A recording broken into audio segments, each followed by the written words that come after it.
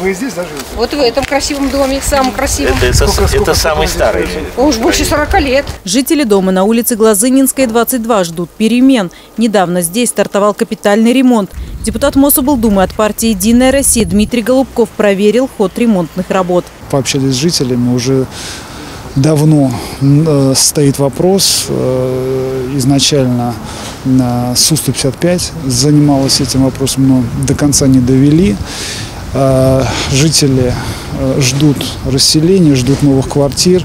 Парламентарий отметил, что ремонт кровли решит проблему только частично. Вопрос с расселением остается открытым. На другом объекте, уже в поселке Внесок, проходит капремонт балконов жилых домов. Хорошая технология, когда старые, старые балконы удаляются и полностью вместо них монтируется, то есть, ну, по сути, выстраивается новая несущая конструкция, укрепляется и а, воссоздается, ну, только уже в усиленном, а, отреновированном виде а, балкон. После реконструкции жители уже смогут сами решать, остеклять балконы или нет, отметил парламентарий. Ход реализации региональной программы капитального ремонта Дмитрий Голубков контролирует в рамках партийного проекта «Городская среда». Мария Шматкова, Екатерина Крамер, Станислав Трифонов, телекомпания «Одинцова».